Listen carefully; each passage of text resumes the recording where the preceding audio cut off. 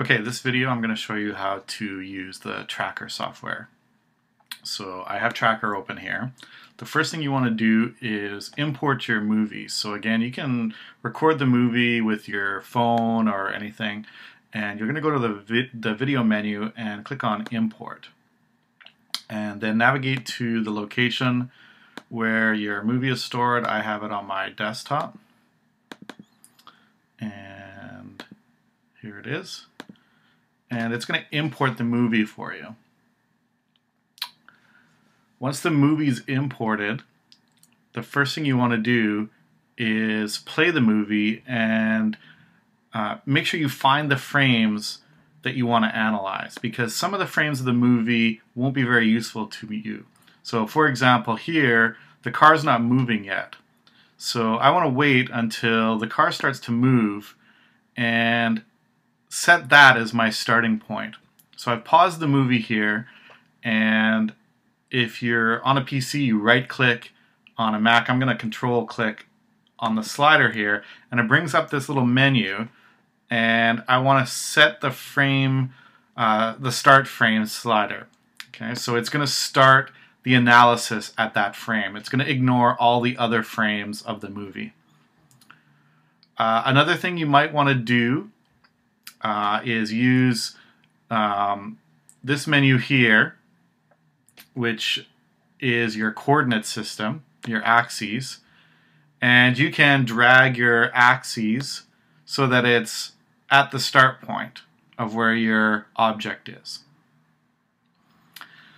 Um, the other thing that you can do is to create a new calibration stick. Okay, That brings up this little blue line and what we're doing is giving the tracker software a sense of the scale.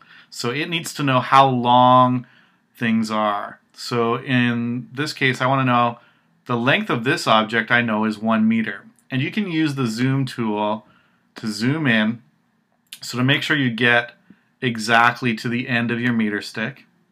Okay? And it doesn't have to be a meter stick. It can be, uh, if you know the height of an object, so say for example you've taken a video of uh, a basketball player uh, and you know the height of the basketball player before he takes a free throw shot, you could put in the height of that player. So I'm going to put this in as a length of 1 meter. So right now it's set to 100 and I'm going to change that to 1 meter. Okay, so now I've given the software uh, a sense of scale. It knows that distance. The next thing I want to do is tell it what object do I want to track. And for that, I'm going to use this little create menu. And I'm going to create a new point mass. Okay, so I'm telling it this is the object, the mass that I want to track. And I want to turn on, on this little menu here, the auto tracker. And I'm just going to slide it out of the way. And what you'll notice is that in here it says shift control click the video feature of interest. So what we want to do is choose a section of the video that has sort of a unique set of pixels. Okay, so a unique image. In this case, the two little flowers on our car are pretty unique. So I'm going to hold down shift and control and then I'm going to click in the center of those flowers. And that's the point that I'm going to track. Okay? So tracker is going to look for that little image, those pixels, and it's going to track them throughout the movie. So the next thing I want to do is just click search, and tracker will go through and follow those pixels across the movie. So you can see it as it gets towards the other end, it's eventually going to come up with an error because once the buggy moves out of the frame, it can't find those pixels that you were at that you asked it to track, and it says I can't find them. That's okay, it's gone. We don't need any more data, so we're just going to click close. And what you'll see down here is your table of time and the x position and the y position of the object. And up here, it's already put in a graph for mass A of time and position, x position, and you can see since it's moving in the negative direction, it's uh, the graph is going downwards in the negative side. Again, if you uh, want to right click on this graph, you'll bring up a menu uh, and you want to analyze that graph. You'll get a bigger display.